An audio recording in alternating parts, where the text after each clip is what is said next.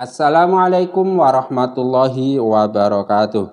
A'udzu billahi minasyaitonir rajim. Bismillahirrahmanirrahim. Alhamdulillahi rabbil alamin. Allahumma salli wa sallim ala sayyidina Muhammad wa ala ali sayyidina Muhammad. Amma ba'du. Kaum muslimin rahimakumullah, marilah kita sama-sama melanjutkan belajar membaca kitab hikam karangan Imam Ibnu Athaillah As-Sakandari. Kali ini kita sampai pada hikmah nomor 137. Pada hikmah nomor 137 ini, Imam Ibnu Athaillah As-Sakandari menuliskan kun bi awsafi rububiyyatihi muta'alliqan wa bi awsafi ubudiyyatika mutahaqqiqan.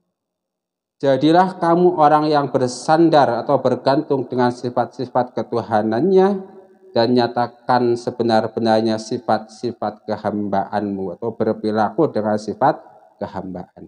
Kaum muslimin rahimakumullah, Allah Subhanahu wa taala adalah Rabbul alamin.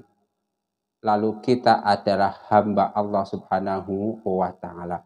Allah memiliki banyak sekali sifat-sifat minimal yang biasa kita pelajari ada sifat 20 seperti wujud, kidam, bako, dan sifat-sifat lainnya. Allah subhanahu wa ta'ala juga memperkenalkan dirinya dengan Asma'ul Husna, Ar-Rahman, Ar-Rahim, dan seterusnya. Nah, kita sebagai hamba Allah subhanahu wa ta'ala dalam menjalani hidup ini harus selalu menyandarkan diri kepada sifat-sifat Allah subhanahu wa ta'ala. Harus selalu berpegangan teguh kepada sifat Allah subhanahu wa taala. Dan kita harus selalu mengetahui sifat kehambaan kita bahwa kita ini hamba. Allah zat yang maha tahu.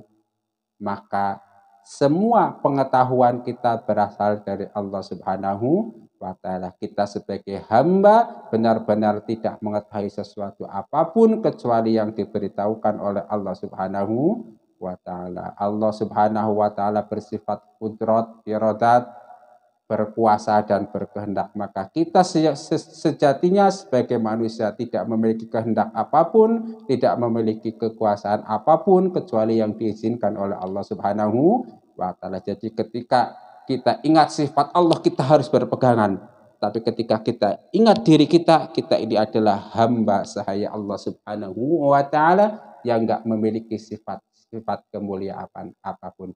Kalau kita merasa pandai, kita pulangkan yang maha pandai hanyalah Allah Subhanahu wa taala, sementara kita adalah maha bodoh. Kalau kita merasa berkuasa, pulangkan bahwa yang maha kuasa hanyalah Allah Subhanahu wa taala, sementara kita adalah hamba yang sangat lemah. Mudah-mudahan bermanfaat. Jangan lupa like dan subscribe channel ini. Rabbana taqabbal minna innaka antas samiul alim wa tub alaina innaka antat tawwabur rahim. Subhanakallahumma wa bihamdika asyhadu an la ilaha illa anta astaghfiruka wa atubu ilaik wa minkum. Wassalamualaikum warahmatullahi wabarakatuh.